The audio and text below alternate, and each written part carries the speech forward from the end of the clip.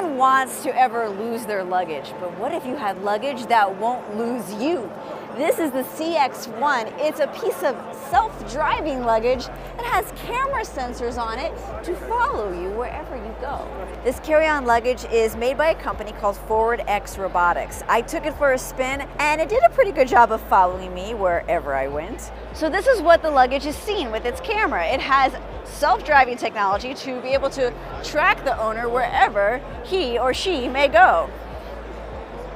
But if you go out of range out of the camera, it can still find you with the help of a connected wristband. Now it's smart enough to use facial recognition, so it shouldn't start following someone else, I'd hope.